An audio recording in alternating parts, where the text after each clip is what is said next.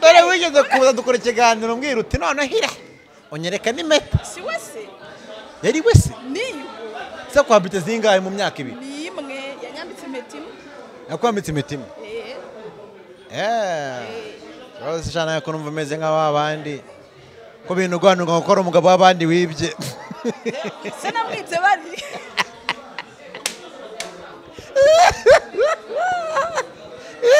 ngo umugabo wanyu nibye. Ko wumvaga ari umugabo w'abandi ngo wapapuye ngo umugore arararira avuga ati umugabo wanjye mama sava aramujyanye yewe pole disi wa mubyeyi. Bibaho rwose. Cyangwa ntabwo ari uwa mbere wibye nawe azashaka undi. Umwana avuka hariya tugiye. Avuka gatsata oya? Ni umunyagatsata hariya tugiye. Hehe tugiye. Hehe tugiye njye nawe hariya aha! umugore w'umugabo Wabonetse wubatse. ko mwanga kuba- hehe tugiye njye nawe magengenge ngo hehe tugiye njye na- njye nawe tujyanye he. Ko ntakina sinema nyarwanda? Genda gake gake. Njye nawe wowe na tujyanye mama he. sava mujyanye ahantu bajyana nawe njyana he nawe? Reka.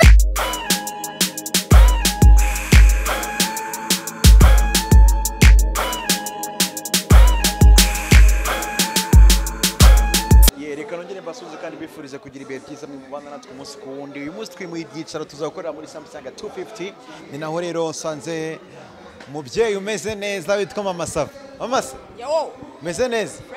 Ah kanona furesheri ufite.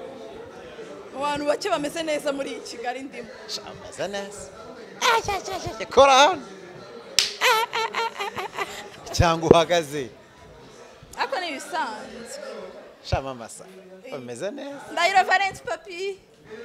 Namusuhuje nawe ngusanze muri Samsung 250 yego ni ho mpahira ni ho mpahira amakuru yawe meze neza kuri kugabanya imyaka so wasaziye kigali urabona ariyo gusaza ko imyaka ishira ndabona ugenda uba agakobwa gatoya agakobwa gato cumi n'icyenda yes. Ubu ngeze kuri cumi n'icyenda kuri gusatira ndaheji ndi gusatira cumi n'umunani. Umwaka utaha umuntu uzamvugisha azafite ibibazo. Ariko ndabona waranataye ibiro Eh, waranananutse nananutse? Kandi hano bari kumbwira ngo nongeye ndabyibuha oya wananutse. Eh, ndashaka kuba maneke. Ejo mu isibo y'iwacu ninjye nabaye misi ese ubu. Naraye mbabwiye ko nta kintu bifitiye. Ikagenda. nta kintu bahagaze. Si wowe iwanyu ni we minsi urimo? Ubwo abakuvuga basigaye bameze bate? Nabo nyine. Oya. Na- nta bantu nahatanye nabo. Niwe mukandida rukumbi wari uhari? Njye mukandida rukumbi wari uhari. Igisibo ntiyahagana he? Reka reka reka mvuge karitsiye iwacu ukuntu imeze rero. Eh. isibo y'iwacu ibamo abasore benshi bagumiwe. Gisozi hejuru cyane. Asoba ntabwo ariko tuzi. ejo nabonye nabonye ngo icyegeranyo kivuga ngo u rwanda. Ah. mu bihugu bine bikomeye muri afurika bifite abasore beza ariko b'abakene. ngo ariko babakene. Nta kintu babeshya ibintu ntabwo ariko byaba bitunguranye. Muri abakene sori wowe ntabwo urimo. Tudakena. Ntabwo ukennye mwana wanjye. Ntakena Eh, ndinde no kudakena koko wenda kwizera ntabwo ukennye naho waboneye umukunzi uranatwica. Duherukana nta. Ntashari ngira mana babonye sheri. nuna ya mpeta yakwambitse ibaye ko se wambaye bite iby'impeta ese kwisha akaboko wakagaruye impeta rero ntabwo yari yamaye impeta yo ku yo kumbwira ngo wait a moment by'igihe gitoya tuhite tujya mu rugo yari yamaye impeta y'isezerano impeta nyine yo kunsezeranya ko ankunda ibyo ndo zibaho Eh, ubundi abantu bafite abasheri barabizi. Ariko abantu b'abasirimu ubundi nibura buri mwaka umu boyfriend wawe akakwambitsa impeta. Buri mwaka. Ah, habaho impeta z'icyizere. Izo ni izo hano mu- mu- muri kigali. Izo ni iz'icyizere z'abakene. Yawe. Ubwo utereta twamwumvisha nawe impeta z'icyizere. Yego ubundi muntu mu- iyo umuntu akimara kugutereta yagakwiye kukwambika impeta. Kugira ngo nyine yagutandukanye n'abandi bantu bose. Kuko abasore reka turabazi mukunda abakobwa. Noneho ukaba utandukanye n'abandi bakobwa. Yego yego. Noneho nyuma akazakwambika impeta avuga ngo ni impeta iguteguza ko tugiye kubana nawe rero warabirebye uravuga uti ibintu by'icyizere ntabwo ntacyo bimaze. urumva icyizere namaze kukimuremamo arabizi ko ari we wenyine nkunda ku isi. Niyo mpamvu ahise ukibika. Ku mutima wanjye aziritseho. Ariko uzarebe namara kunyambika impeta hano. Eh. irene nubona nayikuyemo. Eh. sha mamasa atari ubwa mbere nkubonye wambaye impeta. Mbese hari ubona ko nambaye bazi kwambika ntabwo ari ukazikuramo. kukubeshya ubu nibagiwe ibintu doreba nta n'isaha namba ibintu byose na byo. Gusa nyine uyu munsi ibintu byambayeho ko atari umuhungu ko atari umusore wa mbere ukwambitse impeta ukabikuramo. Undi ninde muhungu? Eh. Undi ninde? Eh. Undi ninde? Eh. Dore wigeze kuza dukora ikiganiro umbwira uti none hira unyereka n'impeta si we se? Yari we se? Niyo se kwambitse zingahe mu myaka ibiri? Ni imwe. Yanyambitse impeta imwe. Yakwambitse imitima Eh, eh. Rwose shana ko numva umeze nk'aba bandi. Ko bintu ugwanuka gukora umugabo w'abandi wibye. Se namwibye bari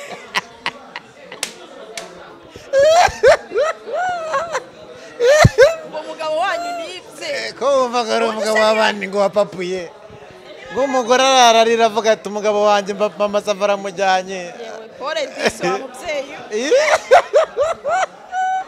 bibaho rwose. Cyangwa ntabwo ari uwa mbere wibye nawe azashaka undi. Iyo duhuye turavugisha ukuri. Nawe azashaka undi mugabo yiba kandi. tujye mu kazi sheri tubetse gatoya banza ubyibwirire gupe azashaka undi yiba njye nta mugabo nibye? Shanga waramwibye ntawe hari uwo nagiye gukura iwe? Ko hari umufuka aramujyanyemo cyari ikiziriko aramushyizemo? Njyewe umuntu yaje kuntereta? Uremera arantereta kandi mbona ko karabizi. Eh. arantereta kuko Eh. ndatereteka. Eh. ubu mpagaze ahanterese akantu kambona ko karabizi wowe? Hari ikindi kintu uba usobanuye ndakuzi? Iki se? Ubona ko karabizi. Rene ndagukunda ko arabizi oya sigutereta. Gutereta biriya bintu n'ubundi nta musore apfa kubimenya. Ni bake umuntu ufite experience niwe ubimenya. mwana wanjye. Azashaka uwo yiba nawe yego turi muri samusanga 250 rero reka dukore n'ibindi. tugiye gutanga igihembo. Muri samsung 250 umudamu yatsindiye televiziyo yaguze telefone aguze telefone ajya muri, mu- muri tombora nyine mu marushanwa none ni we wabaye umunyamahirwe wo gutombora televiziyo. Ubu rero ngiye kuyimushyikira ugomba nagira ngo n'abantu batazagira ngo ibi bintu aba ari ukubeshya. Uye ntabwo ari ukube yaguze telefone y'ibihumbi ijana na makumyabiri. Twari turi kuganira ari hariya yaguze telefone y'ibihumbi ijana na makumyabiri. Bamubwira ko harimo a- amarushanwa yo kugira ngo umuntu azatombora nyine. noneho ikintu yakoze yanditse izina rye ku gapapuro arabahereza ngo bashyira mu gaseke arigendera ni umuntu utuye i kabuga nta nubwo ari hafi. Ahamagarwa rero nk'umu- nk'umuntu watsindiye televiziyo. Icyo kiduhagaritse hatuje kuyimuha muraza kubikurikirana hari abantu bumva wenda byamamaza ngo hari tombora bakavuga ati ibintu ni ukubeshya. Kandi twongere tubibutse ko muri samsung 250 ushobora kugura igikoresho ukishyura gahoro gahoro. Ibyo bintu jya gahunda ni make make. Ma- gahunda ni make make tugatera imbere. Rega nta nta mpamvu yo kubaho. Ibaze nk'umuntu uba i kigali utagira firigo nk'iyi ngiyi. Ukaba ufite televiziyo za zindi za z'ikiromba kandi muri samsung 250 amateleviziyo arahari. Birabasaba iki rero? Gusirimuka uze tuguhereze noneho uzajye wishyura make make. Tugenda gutanga nkurikije igikombe ukuntu usobanura ibintu. Ahubwo n'abagabo utarajyana sinzi icyo bari. Reka tujye mu igihembo turagaruka mu kanya. Eh, naje kugura telefone hano. Kuri samusangi. Nari nkeneye agatelefone nyine ndaza bisanzwe. Kuri makumyabiri n'eshanu z'ukwa kabiri. Makumyabiri n'eshanu z'ukwa kabiri ni bwo waje? Hari mu gitondo rwose. Yego. bagifungura. Ngura telefone. Yego. Ya make rwose. Waguze iyangahe? Naguze telefone y'ibihumbi ijana na makumyabiri. Ijana na makumyabiri. Niyo wagura y'ibihumbi Nyibuze. ujya muri nyibu uba niyo amahirwe yo gutombora hamwe na samusanga 250 bibutsa ko buri cyumweru abakora iki kiganiro bivugwa mu cyumweru kuri btm tv saa saba na mirongo ine kugera saa munani ari bwo duhamagara umwe mu bagannye iduka. Akaba nyir'amahirwe umaze kuba hano watanze imyirondoro yawe? Iyi telefone mfite mu ntoki niyo naguze hano. Niba uguze hano. Eh, baguhaye garanti igihe kingana iki? Bampaye garanti y'imyaka ibiri garanti y'imyaka ibiri. Tuguhamagaye tukakubwira ko bakubwira ko hano hari uburyo bwa tombora wabifashe ute? Wumvaga ko ari ibintu biriho cyangwa wumvaga ko ari ibintu by- by'abanyamitwe ntabwo nari mbi. Na nimero ya telefone. Yego. Anyereka akabogisi ishyiramo yego.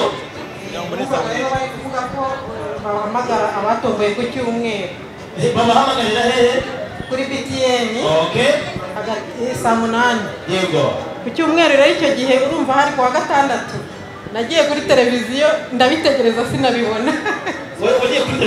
Kuwa Ku cyumweru kuri makumyabiri na gatandatu. Yego. urumva nari naraye nyiguze yeee mbo numva ni ibintu bisanzwe. Ndavuga ntabwo wayitomboye nyine yayijyanye Eh, niberaho numva byararangiye.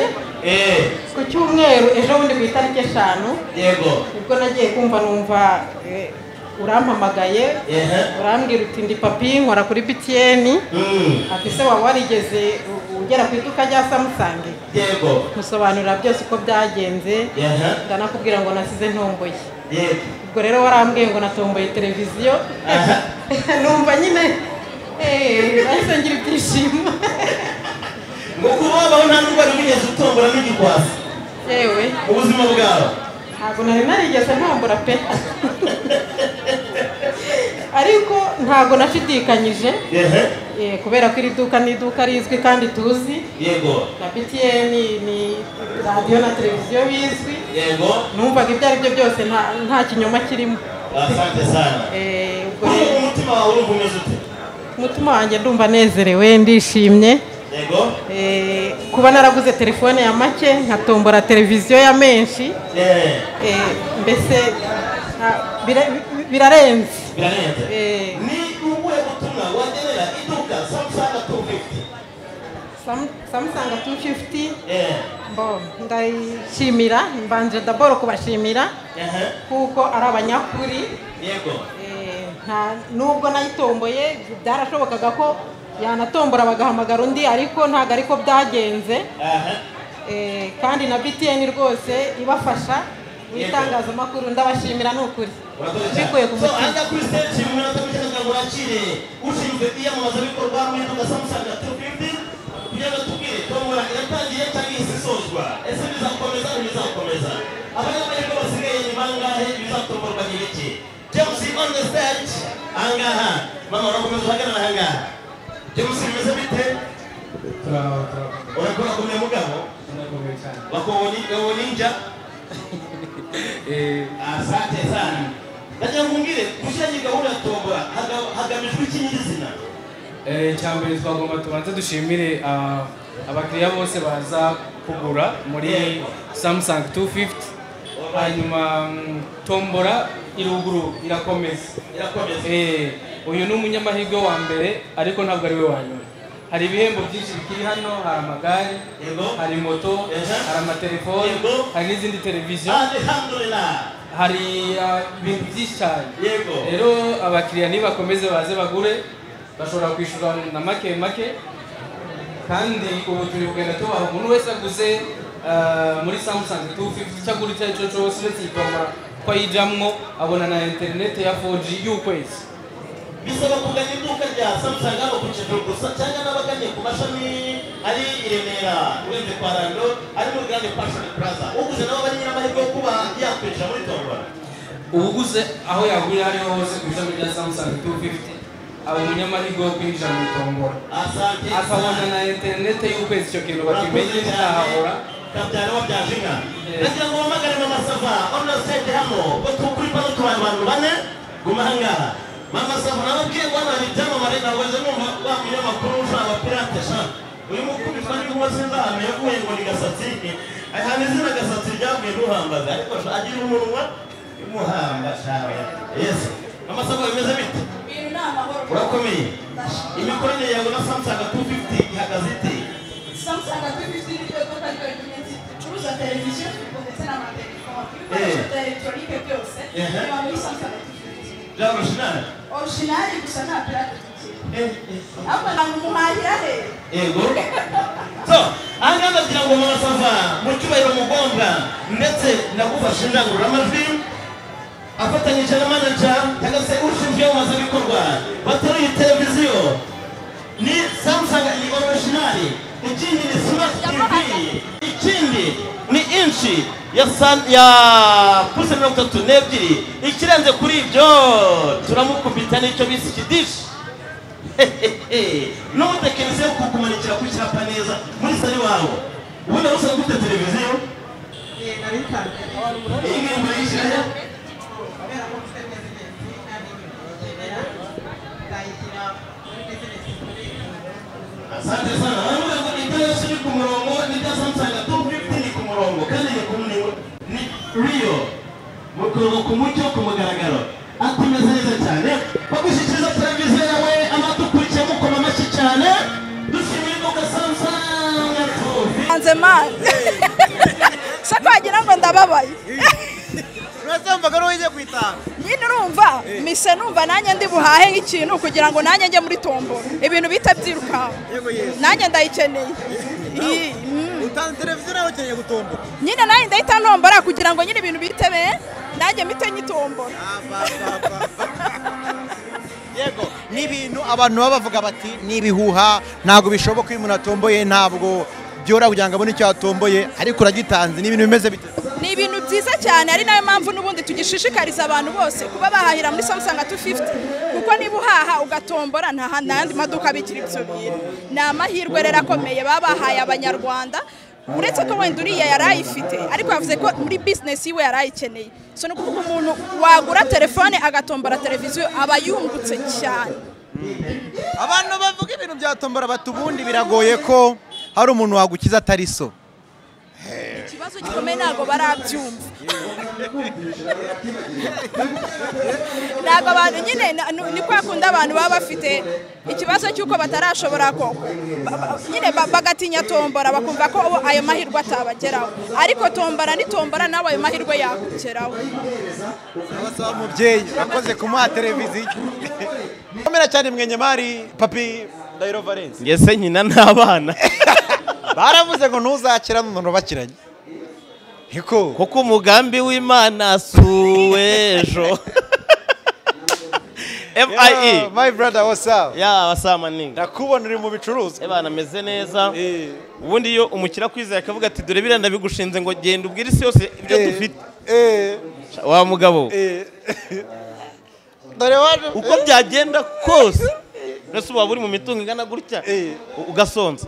Biragoye. Cyangwa ukabura uko wikaraga. Barangiza ngo amafaranga uyakurahe abanyeshyari sha. Aba bakubitwa n'inkuba sha. Reka nkubwire ishyari ryanyu Eh. urwango rwanyu. Ntabwo bizatuma tu- ducogora gukora. Kuko reka nkubwire buriya irene uko byagenda kose umugisha ni nk'imbeho. Ni nk'imbeho. Mbese wari waryama ntiwiyorose mbese ntuba wafunze. Uba wafunze ariko niyorosa. Ukaniyorosa nyine. Eh. Ubwo rero ba bandi numvishe ngo mu itangazamakuru ngo amarozi ngo ibiki? Ni baroge baraturoga ikaturogora batuvuma ikatuvumura uko byagenda kose. Umugambi w'imana si uw'ejo akantu k'imvura amajejo wundi yarahamagaye arambwira. Yego. Ngo mani ngo ko abantu bari kukugendaho cyane ni bande se? Eh, mpita mparika ku ruhande ngo ndebe ko hari abantu bari inyuma yanjye nsanga nabi. Ntibameze gute barimo kunshaka ngo ngo ngo ngo bambaza ngo nimba nababonera amajwi ngo uvugana n'abakobwa. Eh. ngo gahambamwe amajwi mvugana n'abakobwa ubu niko mvugana n'abantu. Hari abo ndimiswe kuvugisha. Ahubwo mwese muze muri samusanga utujwi. Ahubwo muze muri samusanga tu fifuti mbakopi. Nimwambura mbashyire hanze. Dore ko ari akantu kitwa CCTV kamera izi ni CCTV kamera Eh, aya ni amaburenda Eh. urumva? Izi ni za wota dispensa Eh. urumva? Eh. noneho ikintu kirenze ahangaha ushobora kuza kugura telefone nkahita nkongeza ino burenda ubu nawe kuba uje hano ukanganiriza. Yego. Ntabwo wagenda nayo iguhaye kubera ko wishimye.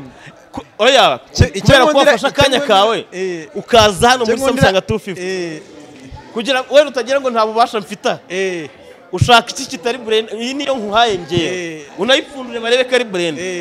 Numara kuyijyana kuko yingwitiyemo umbwire ikindi ushaka hano. Eh. ibe firigo icyo ushaka. Eh. ariko nturenze ntufate igihenze cyane.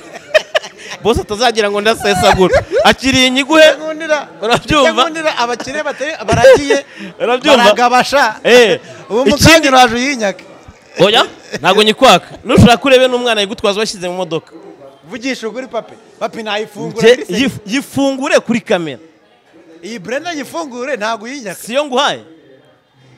Cyangwa ntago ntabwo cyangwa ntago wemera ibyo bibiri yivuga haranditswe ngo hahirwa bemera batabonye igiza hino nyigufungurire bose arababireba njyewe ntayo nsubizamo papa ubizi ko biri seriye nakubwiye ngo nta pranka njyewe njya nkora. Sawa. Wigira mu umukire uragiye. Si burenda ushaka. Ariko abakire baragiye. Nabwiye ngo umbwire n'ikindi. nabwiye ngo umbwire umbwire n'ikindi ushaka? Papi numvaruza ubwire abanyarwanda ko nabikwatse ahubwo ikibazo uramenya kuyikoresha. Ndareba tutoriyo kuri youtube ntizibaho. Ahubwo se urabizi neza ko ari burenda ni burenda cyari mikorowoni nako ni mikorowone amara ni mikorowone akira reba. Papi na yo ngo usubize akira ko bazateruza bigize mani ngewe ariko se keretse nimba uzi ko ibyo urimo kubwira abantu babeshya. Sa papi niyi ngusubiza do irarora. Nayo ngusubiza ububiri urabyumva? Ngenda bimuhaye nk'impano kuko ntabwo naba namamaza iduka ringana gutya. Noneho bya bintu byo kuvuga ngo abakire ba- ba- baga- baragiza abantu abantu bakagaba. Yibeshya mvaruze ntabwo yimusubiza ngwino hano. Ne- ne- reka- mama sava ngwino hano. reka mbivugire ahangaha niyi nyimusubiza ngahe? Irene muhaye ya arangije banza wumvise. Imbere ya kamera. Arangije afite ubwoba ngo ngo none se ngo ndi buyijyane ngo cyangwa ndayisiga kadonye yakuye ahubwo utayisubiza oya bayijyane mu modoka. Eh babe bakashyira mu modoka n'ubundi. Urabyumva? Eh. Afite ahubwo ubwo ufite n'ubwiki cyangwa uzi kuyikoresha? Oya reka nkubwire cyangwa uba mu nzu y'ibyondo nta mashanyarazi nta muriro w'amashanyarazi aka ngaka nakukuza uteruza isahani mu gihe umaze gushyushya icyo kurya cyawe. Eh, ugakubitamo ari ugahita kugira ngo udashya ukahita ukaza. Erega urusirimu ndabona rukugoye irene. Uzanavuka hariya tugiye. Avoka gatsata oya? Ni Hariya- umunyagatsata hariya hariya Kanyonyomba. tugiye. Hehe tugiye. hehe tugiye njye nawe. Hariya aha! umugore w'umugabo. Wabonetse Hariya ko ngo- ngo- tugiye. hehe tugiye. njye nawe. Magengenge ngo hehe tugiye njye na- njye nawe tujyanye he? Ko ntakina sinema nyarwanda? Tugende gake gake. Njye nawe wowe tujyanye na he? Mama sava mujyanye. Ahantu bajyana nawe. njyanayo nawe reka reka reka mumbabarire. Ukuntu papa akubwiye ngo ukagenda umukwirireho ngo uretse wumve ngirene. ngirene. Uretse wumve ikintu gitangaje ngo ngo uzanire navuka Eh. inti ni mu gatsata ngo hoya ngo ni hamwe tugiye. Hehe yereka nagiye kwa data uko kwa irene. Iwabo.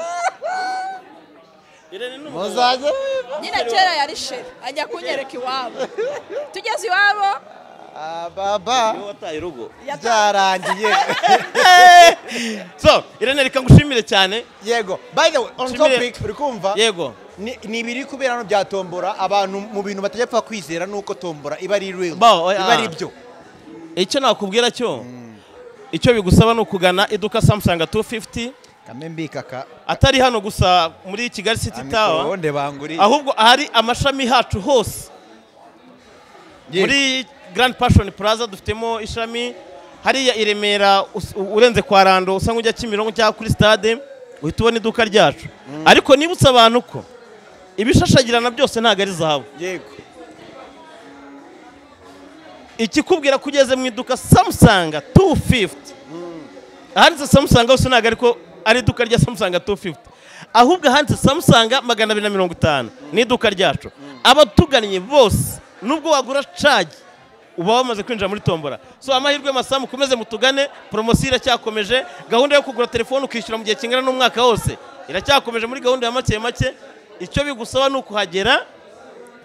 Twashyizeho gahunda ya tunga fone nziza munyarwanda nawe muturarwanda nawe inshuti y'u rwanda n'ibikoresho kandi. Ukagenda wishyura gahoro gahoro ugasirimuka. None yo. ko umubosi wawe witwa starboy yarongoye. Ubukwe bwiza. Ukaba utajyayo bimeze bite? Ese ngiye kumurongorera. Urambwira ngo uko sitaboye yarongoye? Uragira ngo ngo nkabona njya gutora unsurira se? Ariko ihene twaramutwereye. Umugeni arahari? Eh, umugabo arahari? Eh. urongora n'urongorwa barahari? Nje njye papi ndi kuje uwiyerore ugiye mu bukwe. Ubukwe nabuvuye na- ntabwo buraba burabura burabisha. Kandi burabera kure. None se kuri- kunyura? Bwa sitaboye kuri kunyuhura. Aho buraba bwabereye? Nimba utaratumiwe nta bavumu n'agafaranga nikimenya- yanze abavumba. Gafara gafaranga wasanga ari filimi ntabwo mbizi. Kuko sindabona urugo rushya rw'abageni. Eh. sindanabona amafoto bapositinze nk'umugabo n'umugore. Sindabona bagiye muri honeymoon. Eh. wasanga ari se nzayireba ni umunota umwe wonyine. Ngo umuntu witwa mutabazi yakwigejeje mu rukiko? Ntabyo nzi. Icyo nzi cyo bampamagaye muri rmc Eh, bambwira ko narezwe na mutabazi. Ngo navuze matorada. Ibitangazamakuru byavuze kuri mutabazi. Ariko nanone ntabwo byantangaza Eh. inzu uko yaba nziza kose Eh. iyo imbeba idafite ikiryamo ntabwo yayijyamo. Suwe suwe mbega ubugome. Bagoye witwa oliva? Nyirabagoye urumva umeze utuye umunsi ndumva nezerewe. Yego. Kubwo gutombora televiziyo hano muri samsung 250 yego yego. Eh, hari abantu bavuga bati ba- ni umushuti wabo bari baziranye. Wayitomboye uhite bitubwira oya nta muntu n'umwe nzi hano. Eh, ni ukuvuga ngo naje nje kwigurira telefone bisanzwe. Yego. Eh, kubera ko numvaga bavuga ko hari poromosiyo yego. Ariko nzi ko na samsung nyine ari telefone nziza. Yego yego. Eh, Eh. ngura telefone bisanzwe naguze. Eh, Yego. a zeru gatatu kowa ibihumbi ijana na makumyabiri gusa. None utomboye televiziyo. Maze kuyigura Eh. barambwira ngo hari ngo hari na tombora. Banyereka uburyo nandika izina ku gapapuro nshyiraho na nimero ya telefone. Yego yego. Numvaga ari nyine ibintu bisanzwe ko ntago nari narigeze nyine ibintu bya tombora yego. Nuko nshyira mu kabogisi hano. Mm. kiye kumva numva barampamagaye nyine ngo natomboye televiziyo. Wow. Eh, very nice cyane nuko numva nyine ibyishimo birandenze ndishima. Nawe urabyumva telefone naguze ifite agaciro gake ugereranyije na televiziyo natomboye. Nta n'ihuriro. Mm. ndabona uri umumama w'umusirimu n'umwe televiziyo wabyanga byemera wari uyifite ndi umumama ushaje mukuru. Ubundi wari uyifite ntiwakanyihera kariya. Oya televiziyo nari nyifite mu rugo. Akari akanyihere rero. Iriya ndayikoresha mfite bizinesi n'ubundi nyikeneyemo. Iyo nari mfite n'ubundi ngo abafite yari iri bazongererwa gusaza. Ubwo rero ndayikoresha. Yego yego. Eh, nta muntu utanga impano. Ye nta muntu utanga kari agaciyemo ya- yari burage nagira ngo nyine impamvu mba ngira ngo numve ko nimba ibyo bari kuvuga ari byo. Eh. nimba umuntu yatsindira ikintu atari uko habayemo bya bintu bita kata bayimuhaye batubeshya ntakubeshya reka nkubwire. N'umuntu wangurishije telefone naje kumureba hano ngo mubwire ko natomboye nsanga ngo bamujyanye ku yindi buranshi yego. Ni- ni we mbese nari nahamenye gusa. Yego, yego. Eh, n'icyo ubwira abantu bari kutureba rero? Abantu? Abantu baturebaga n'icyo ubabwira? Batombora? Abantu baturebaga n'iki ubabwira? Abantu baturebaga ni ukubabwira ko iduka rya samusanga ari iduka rikoresha ukuri. Ntago nibonaga mu banyamahirwe batombora ikindi nishimiye papi. Papi naramukunda nk'umunyamakuru wa btn yego yego. Eh, yarampamagaye nyine ndavuga ni "Mm, papi se noneho agiye kunkoraho iyihe nkuru. Kubera nyine inkuru ze mba nzikurikira. Ngize ngiye kumva numva mbwiye ibyo kuri samusangi yego. Eh, nibuka rero ko ntaguze telefone arambwira ati watomboye. Mu by'ukuri nari ndi mu modoka. Eh, mva i kabuga nza kimironko ko ntuye i kabuga ariko nyine nahise nsimbukira hejuru abantu bose mu modoka barabyumva. Barabimenya ko natomboye. Yego. Hano mfite rero uwitwa Diedone marketing manager muri Samsung 250 komera cyane. Mukomere irene. Umeze neza. Meze neza cyane si ubundi wahora. ni fresheri ni zose kabisa. Eh. mutangiye gutanga ibihembo nk'uko mwe mwabyemereye abantu. Ni ibintu biteguye bite bimeze bite? Dutanguye gutanga ibihembo nk'uko twabyemereye abantu. Urabona uyu mama atwaye televiziyo ariko ni bwo tugitangira nanone hari ibihembo byinshi cyane. Abantu baze badusure rwose bagure bagure telefone bagure televiziyo bagure firigo bashobora kugura no kuri make make. Hari ibihembo byinshi cyane. Hari amagare ya siporo hari moto hari izindi televiziyo zigisigaye ngaha zigomba kuba ibihembo. Mm, hari ama ekuteri hari ibihembo byinshi. Turakomeje rero iyi gahunda nimba igitangira turashaka yuko abantu baza rwose bakagura bakabona ibihembo. Ikirenze kuri ibyo bihembo tugenda dutanga buri cyumweru umuntu wese aguriye hano abona interinete y'ukwezi. Icyo ni igihembo umuntu agenda acuye adategereza ngo azotombora. Ibyo ntabwo ari tombora. Oya! Ntabwo agitegereza ngo zogitombora Oh, yego yego. Kubera ikizi Eh. agenda agitwaye? Eh. Eh. harya akabazo ibanza komeza agenda agicuye ubwo ni ukwezi internet. Interinete y'ukwezi ya 4G wow. Y'ukwezi. Iyo rero yo agura telefone canke televiziyo canke firigo ariko cyane cyane telefone. Eh iyi agenda yicuye. Wow.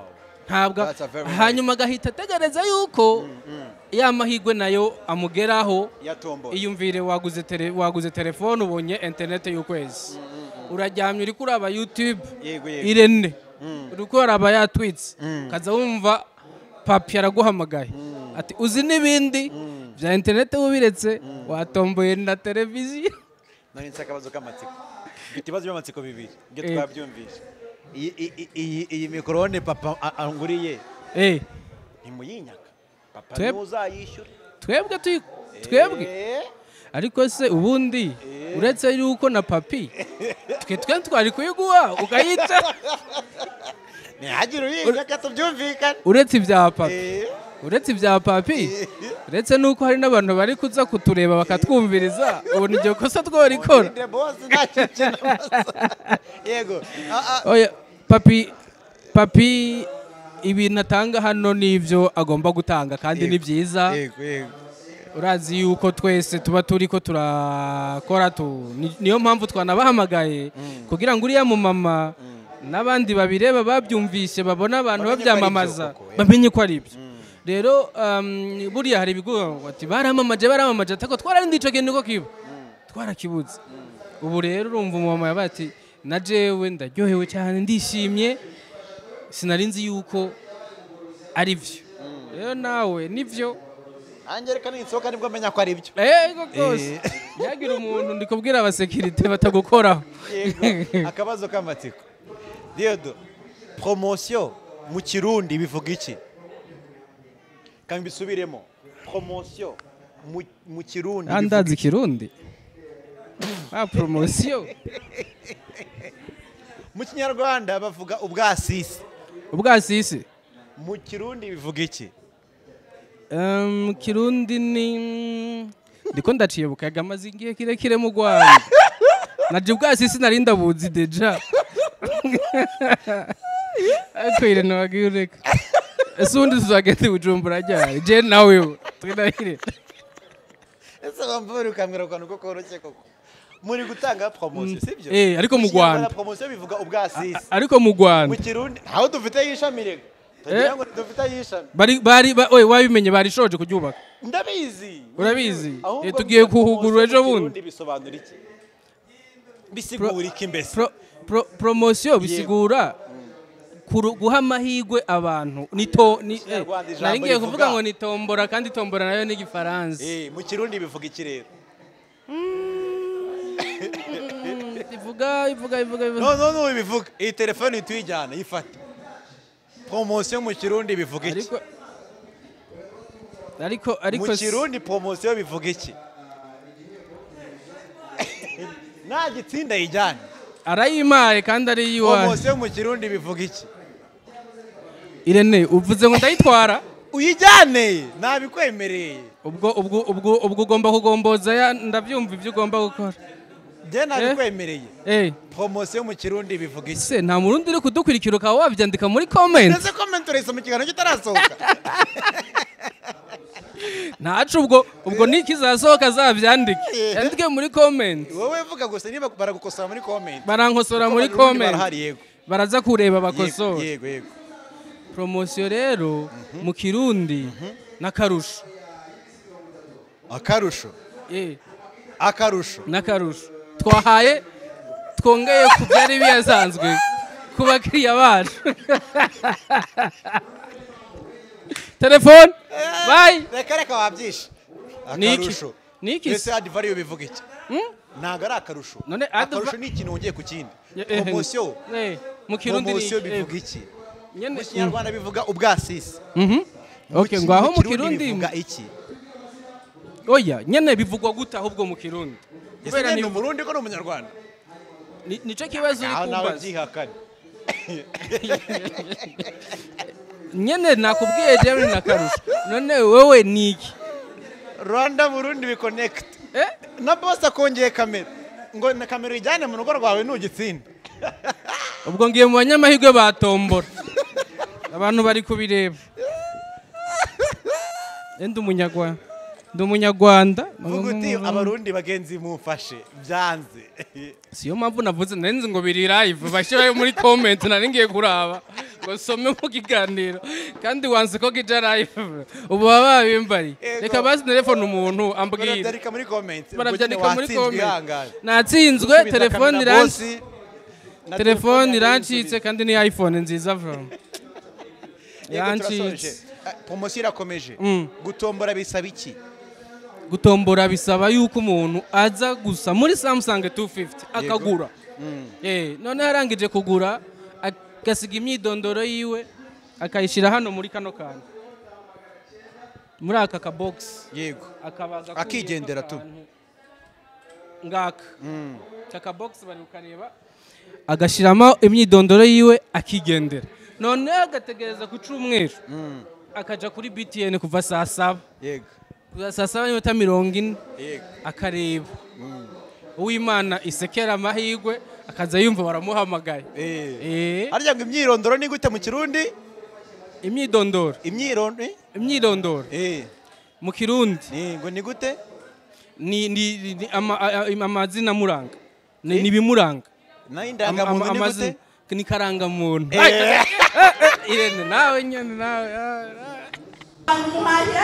yego so ahangaha kugira ngo mama sava mu cyubahiro mugomba ndetse nagufashe indangururamajwi afatanyije na manaja cyangwa se ushinzwe iyamamazabikorwa bateruye televiziyo ni samsung ni orojinali ikindi ni smart tv ikindi ni inshi ya san ya puse mirongo itatu n'ebyiri. Ikirenze kuri ibyo turamukubita n'icyo bise ikidishi wo kukumanikira ku cyapa neza muri salo iwawe ubundi aho usanga ufite televiziyo iyi ngiyi murayishyira he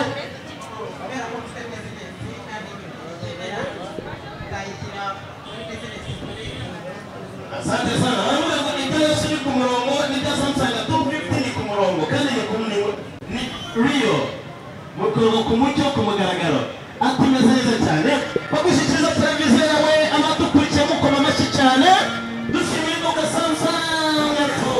mani se wagira ngo ndababaye urasamvaga n'uwo ugiye kwitanga nyine urumva mise numva nanjye ndi buhahe nk'ikintu kugira ngo nanjye njye muri tombora ibintu bihita byirukanka nanjye ndayikeneye. Mm. utanze televiziyo nawe ukeneye gutombora nyine nanjye ndahita ntombora kugira ngo nyine ibintu bihite be nanjye mpite nyitombora yego ni ibintu abantu baba bavuga bati ni ibihuha ntabwo bishoboka iyo umuntu atomboye ntabwo. Byora kugira ngo abone icyo yatomboye ariko uragitanze. Ni ibintu bimeze bite? Ni ibintu byiza cyane ari na yo mpamvu n'ubundi tugishishikariza abantu bose kuba bahahira muri samusanga 250 kuko niba uhaha ugatombora nta yandi maduka abikira ibyo bintu.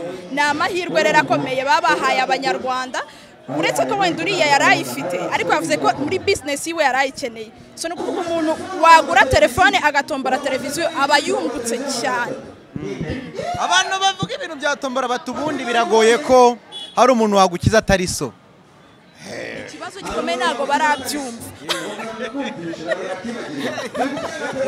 Ntabwo abantu nyine ni kwa kundi abantu baba bafite ikibazo cy'uko batarashobora ko nyine ba- bagatinya tombora bakumva ko ayo mahirwe atabageraho. Ariko tombora ni tombora nawe ayo mahirwe yakugeraho.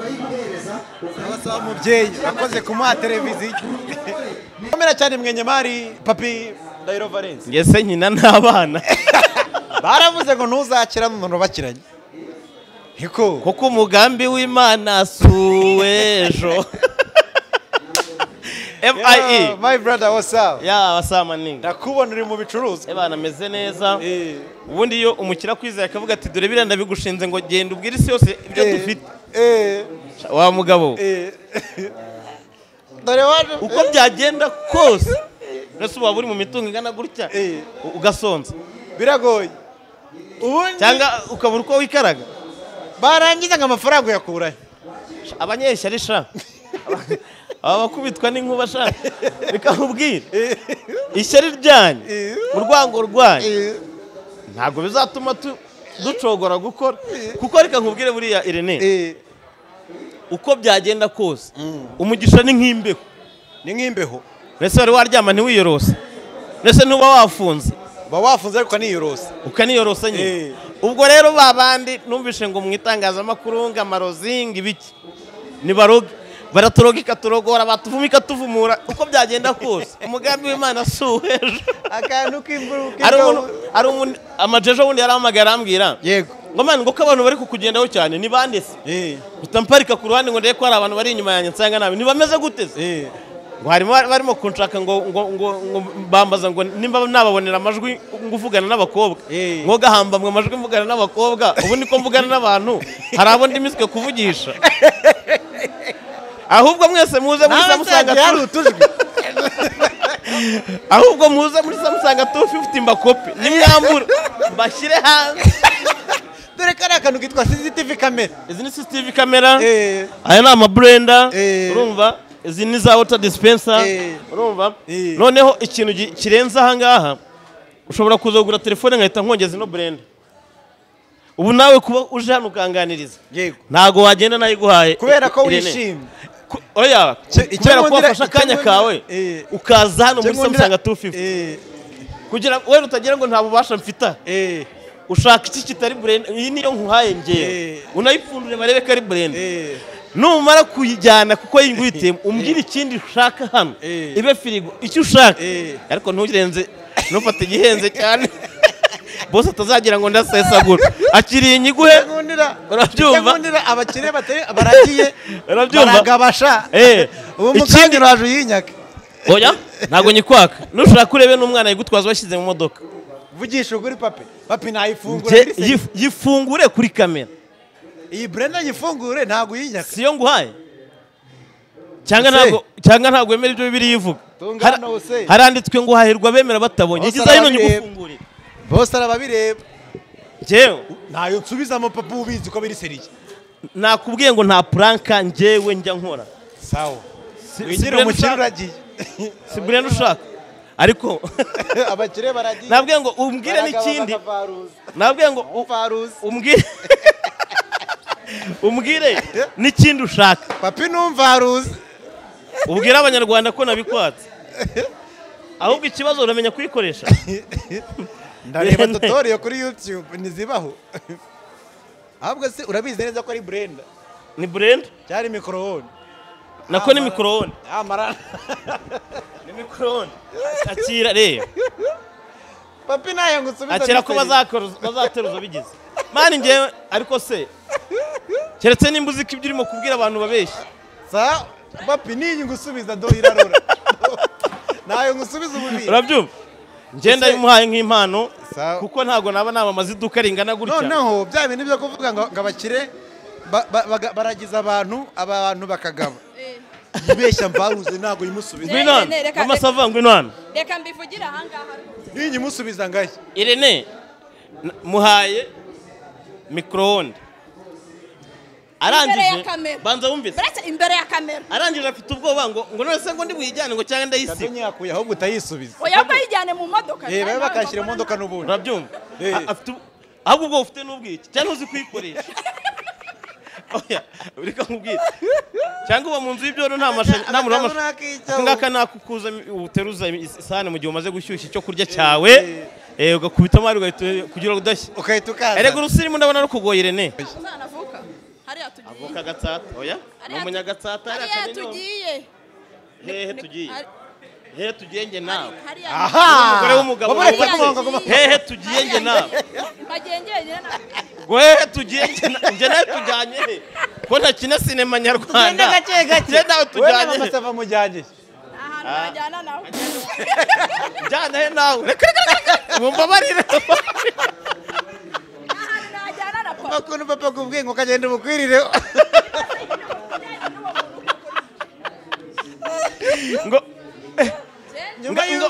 uretse wumve-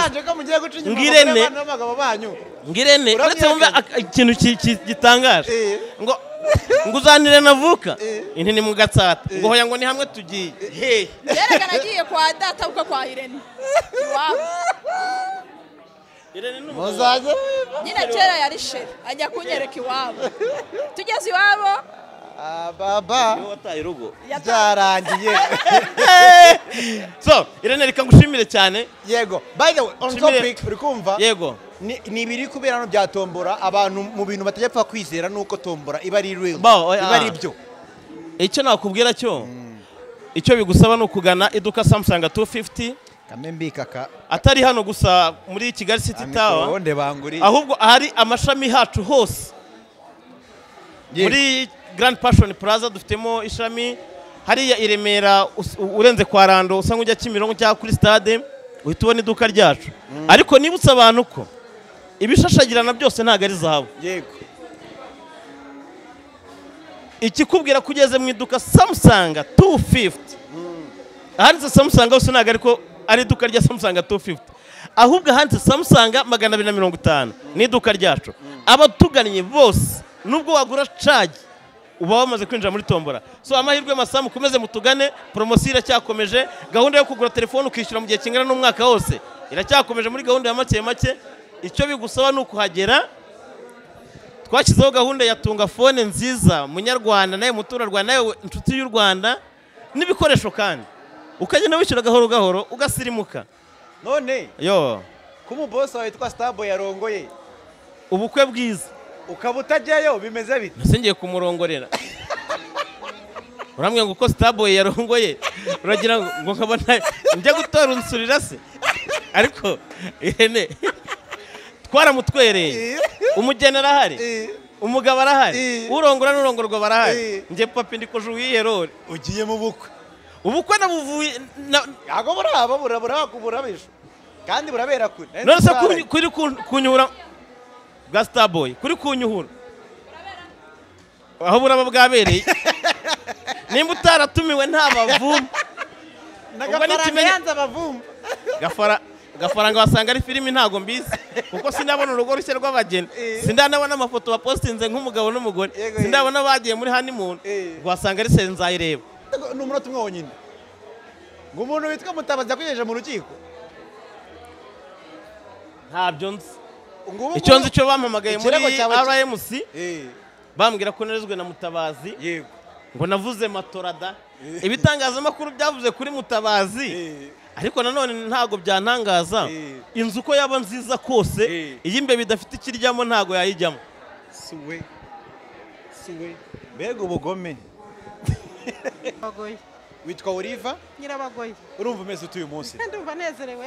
Yego. Kubwo gutombora televiziyo hano muri samsung 250 yego yego. Eh, hari abantu bavuga bati ba- ni umushuti wabo bari baziranye. Wayitomboye uhite bitubwira oya nta muntu n'umwe nzi hano. Eh, ni ukuvuga ngo naje nje kwigurira telefone bisanzwe. Yego. Eh, kubera ko numvaga bavuga ko hari poromosiyo yego. Ariko nzi ko na samsung nyine ari telefone nziza. Yego yego. Ngura telefone bisanzwe naguze. Yego. a zeru gatatu kowa. Ibihumbi ijana na makumyabiri gusa. None utomboye televiziyo maze kuyigura Eh. barambwira ngo hari ngo hari na tombora. Banyereka uburyo nandika izina ku gapapuro nshyiraho na nimero ya telefone. Yego yego. Numvaga nyine ibintu bisanzwe ko ntabwo nari narigeze nyine ibintu bya tombora. Yego. Nuko nshyira mu kabogisi hano. Kiye kumva numva barampamagaye nyine ngo natomboye televiziyo. Wow. Eh, very nice cyane nuko numva nyine ibyishimo birandenze ndishima. Nawe urabyumva telefone naguze ifite agaciro gake ugereranyije na televiziyo natomboye. Nta n'ihuriro. Mm. ndabona uri umumama w'umusirimu n'undi televiziyo wabyanga byemera wari uyifite. Ndi umumama ushaje mukuru. Ubundi wari uyifite ntiwakanyihera Eh. kariya. Oya televiziyo nari nyifite mu rugo. Akari akanyihere rero. Iriya ndayikoresha mfite bizinesi n'ubundi nyikeneyemo. Iyo nari mfite n'ubundi ngo abafite yari iri bazongererwa gusaza. Ubwo rero ndayikoresha. Yego yego. Eh, nta muntu utanga impano. Ye nta muntu utanga kari agacemo ya- yari blage. Nagira ngo nyine impamvu mba ngira ngo numve ko nimba ibyo bari kuvuga ari byo. Eh. nimba umuntu yatsindira ikintu atari uko habayemo byaye n'ibitakata bayimuhaye batubeshya ntakubeshya reka nkubwire. N'umuntu wangurishije telefone naje kumureba hano ngo mubwire ko natomboye nsanga ngo bamujyanye ku yindi buranshi yego. Ni- ni we mbese nari nahamenye gusa. Yego, yego. Eh, n'icyo ubwira abantu bari kutureba rero? Abantu? Abantu baturebaga n'icyo ubabwira. Batombora? Abantu baturebaga n'iki ubabwira? Abantu baturebaga ni ukubabwira ko iduka rya samusanga ari iduka rikoresha ukuri. Ntago nibonaga mu banyamahirwe batombora. Ikindi nishimiye papi. Papi ndaramukunda nk'umunyamakuru wa btn yego yego. Eh, yarampamagaye nyine ndavuga ni "Mm, papi se noneho agiye kunkoraho iyihe nkuru. Kubera nyine inkuru ze mba nzikurikira. Ngize ngiye kumva numva mbwiye ibyo kuri samusangi yego. Eh, nibuka rero ko ntaguze telefone arambwira ati watomboye mu by'ukuri nari ndi mu modoka. Eh, mva i kabuga nza kimironko ko ntuye i kabuga. Ariko nyine nahise nsimbukira hejuru abantu bose mu modoka barabyumva. Barabimenya ko natomboye. Yego. Hano mfite rero uwitwa Diedone marketing manager muri Samsung 250 komera cyane. Mukomere irene. Umeze neza. Meze neza cyane. Si ubundi wahora. ni fresheri ni zose kabisa. Eh. mutangiye gutanga ibihembo nk'uko mwe mwabyemereye abantu. Ni ibintu biteguye bite? Bimeze bite? Dutanguye gutanga ibihembo nk'uko twabyemereye abantu. Urabona uyu mama atwaye televiziyo ariko ni bwo tugitangira nanone. Hari ibihembo byinshi cyane. Abantu baze badusure rwose bagure bagure telefone bagure televiziyo bagure firigo bashobora kugura no kuri make make. Hari ibihembo byinshi cyane. Hari amagare ya siporo hari moto hari izindi televiziyo zigisigaye ngaha zigomba kuba ibihembo. Mm, hari ama ekuteri hari ibihembo byinshi. Turakomeje rero iyi gahunda nimba igitangira turashaka yuko abantu baza rwose bakagura bakabona ibihembo. Ikirenze kuri ibyo bihembo tugenda dutanga buri cyumweru umuntu wese aguriye hano abona interinete y'ukwezi. Icyo ni igihembo umuntu agenda acuye adategereza ngo azotombora. Ibyo ntabwo ari tombora. Oya! Ntabwo agitegereza ngo zogitombora Oh, yego yego. Kubera ikizi Eh. agenda agitwaye? Eh. Eh. harya akabazo ibanza komeza agenda agicuye ubwo ni ukwezi internet. Interinete y'ukwezi ya 4G wow. Y'ukwezi iyo rero yo agura telefone canke televiziyo canke firigo ariko cyane cyane telefone. Eh iyi agenda yicuye. Wow. Ntabwo hanyuma agahita ategereza yuko ya mahirwe na yo amugeraho iyumvire waguze tele, waguze telefone ubonye interinete y'ukwezi uraryamye uri kuraba youtube. Yego yego. Irene. Uri kuraba yatwitse ukaza wumva papi araguhamagaye ati uzi n'ibindi? Bya interinete wubiretse watomboye na televiziyo. Nari nzi akabazo k'amatsiko. Mfite ibibazo by'amatsiko bibiri. Ibyo twabyumvise. Iyi mikorone papa anguriye. Eh, ntimuyinyaka.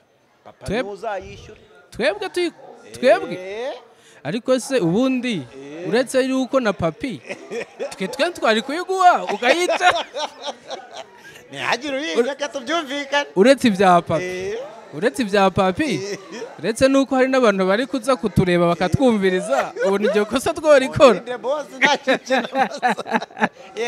Ah, ah, papi papi ibintu atanga hano n'ibyo agomba gutanga kandi ni byiza. Urazi yuko twese tuba turi ko turakora tu. Ni- niyo mpamvu twanabahamagaye kugira ngo uriya mumama n'abandi babireba babyumvise babona abantu Bamenye ko ari babyamamaza. koko, eh. bamenye ko ari ibyo. Rero um, buriya hari ibigo bati baramamaje baramamaje. Atako twararindi ico kintu ko kiba? Twarakibuze ubu rero urumva umumama yabaye ati na jewe ndaryohewe cyane ndishimye. Sinari nzi yuko ari byo rero nawe nivyo nanjye reka ninsohoka nibwo menya ko ari byo yego rwose. Eh. yagira umuntu ndi kubwira abasekirite batagukoraho. Akabazo k'amatsiko. Diyodo poromosiyo mu kirundi bivuga iki? Kandi bisubiremo poromosiyo mu- kirundi andazi iki? kirundi. Ah poromosiyo mu kinyarwanda bavuga ubwasisi. Ubwasisi. Mu kirundi bivuga iki kirundi ni ndiko ndaciye bukaga amaze igihe kirekire mu rwanda. Naje ubwasisi sinari ndabuzi deja ariko irene wagiye ureka. Ese ubundi tuzagenda ibujumbura bujumbura ryari? Je nawe twinahire ese bambura ukambwira akantu ko koroshye koko?